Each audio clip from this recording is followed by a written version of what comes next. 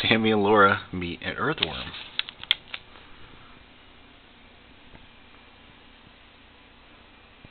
Lara wants to eat it.